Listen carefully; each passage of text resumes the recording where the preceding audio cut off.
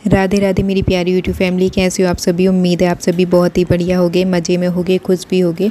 तो आज मेरा कोई भी पूरा ब्लॉग नहीं आ पाएगा क्योंकि बहुत ज़्यादा बिज़ी मतलब ऐसे ही चल रहा है। अठारह तारीख, यानी कि कल, जो मैंने आपको पहले ही बताया था घर खाली करना है।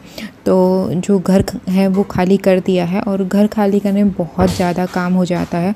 सारा सामान निकालू, करूँ। तो बहुत सारी चीज़ें मैंने रिकॉर्ड की हैं, आपको आगे देखने को मिलेंगी।